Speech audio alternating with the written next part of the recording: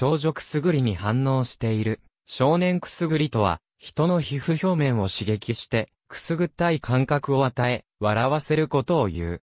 くすぐられた時の反応は人間に限らず他の動物にも見られ、その反応は反射に近い。精神分析学者、アダム・フィリップスが、くすぐりにはどうしても他者の存在が必要であると語ったように、自分で自身をくすぐっても、くすぐりの感覚は得られない。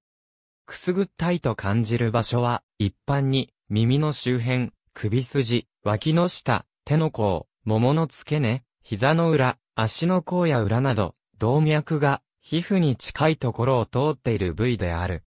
こうした部分は一万一怪我をすると、多量の出血を伴いかねない危険部位で、そのため付近には自律神経も集まって、外部からの刺激に対しては特に敏感になっている。くすぐりによる刺激は、雲が体を這い上がる蜂が肩に止まるといった危険を含んだ刺激と判断され、注意が向けられる。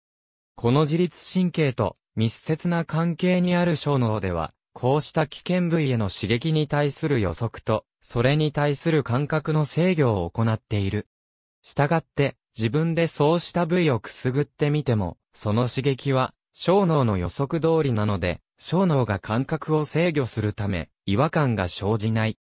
ところが、他人にくすぐられると小脳はこれを予測することができないので、感覚の制御は不能として脳は混乱状態に陥る。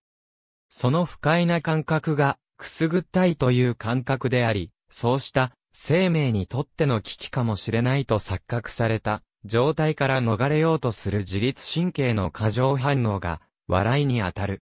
くすぐられる人間の脳をスキャンした研究によれば、他人にくすぐられた場合には、小脳と共に喜びに関係する前帯上領域の活動が活発になるという。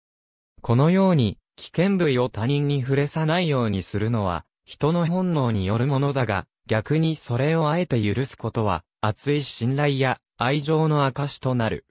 したがって、許諾の上でのくすぐりは、時に性的快楽になる場合がある。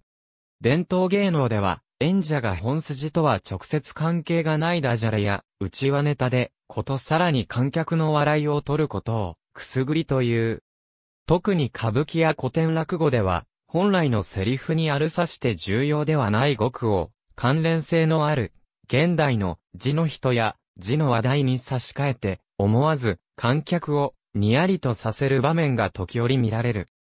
林や三平のような例外もあるが、基本的に多用されることはなく、一幕、一席に、あるかないかのもので、しかも通常は、観客が予想もしないところで、これが出るため、くすぐりは演目に、重要なアクセントを与える手法となる。ありがとうございます。